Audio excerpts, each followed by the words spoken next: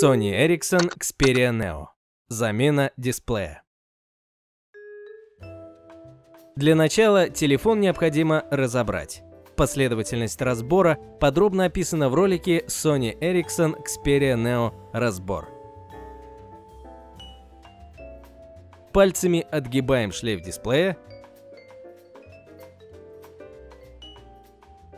Аккуратно отщелкиваем маленькие защелки по периметру дисплея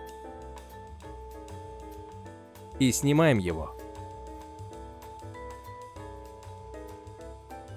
Дисплей снят.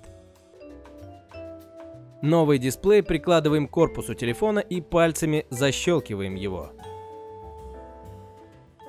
Переворачиваем аппарат и загибаем шлейф дисплея.